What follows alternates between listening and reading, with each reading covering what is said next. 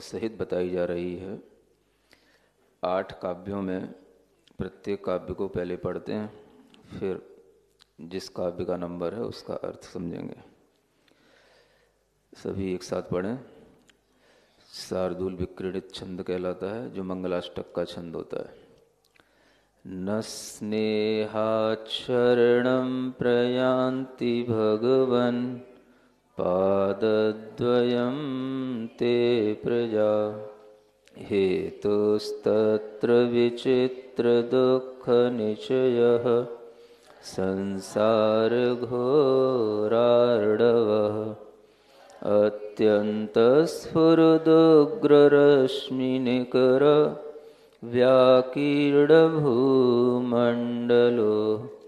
ग्रैष्मः कारयतीन्दुपादसलिल छायानुरागं रविः क्रुद्धाशीर्विशदष्टदुर्जयविष ज्वालावली विक्रमो विद्याभेषजमन्त्रतो यहवनैर्याते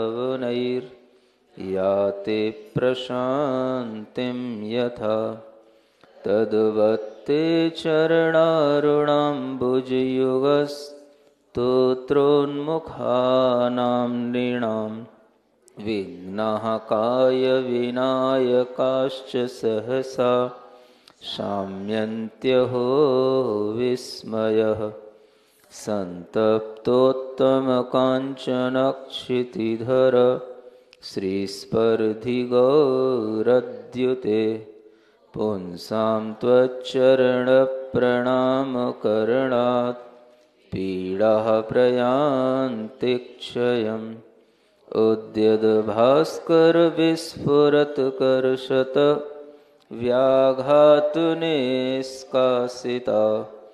नानादेहि विलोचनद्युतिहरा शीघ्रं यथा त्रैलोक्येश्वरभङ्गलब्धविजया दत्यन्तरौद्रात्मकान् नानाजन्मशतान्तरेषु पुरतो जीवस्य संसारिणः को वा प्रस्खलतीह केन विधिना कालोग्रदावानलान् न स्याच्चेत्तव पादपद्मयुगलस्तुत्यापगावारणं लोकालोकनिरन्तरप्रवितत ज्ञानैकमूर्ते विभो नानारत्नपिनद्धदण्डरुचिर श्वेतातपत्रत्रय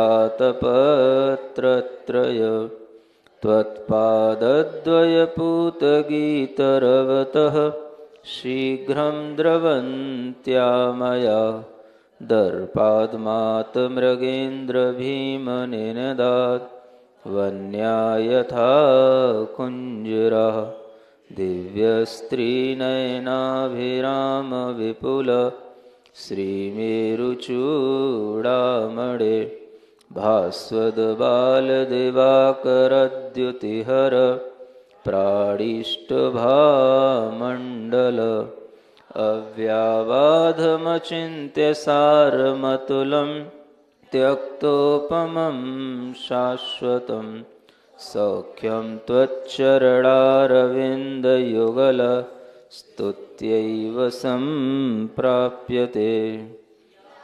यावन्नोदयते प्रभापरिकरः श्रीभास्करो भास्यंस्तावद्धारयतीह पङ्कजवनं निद्रातिभारश्रमं यावत्त्वच्चरणद्वयस्य भगवन् न स्यात्प्रसादोदयस्तावज्जीवनिकाय एष वहति प्रायेण पापं महत् शान्तिं शान्तिजिनेन्द्रशान्तमनसस्त्वत्पादपद्माश्रयात् सम्प्राप्ताः पृथिवीतलेषु बहवः शान्त्यर्थिनः प्राणिनः। कारुण्यान् मम भक्तिकस्य च विभो दृष्टिं प्रसन्नां कुरु। त्वत्पादद्वयदैवतस्य गदतः, शान्त्यष्टकं भक्तितः।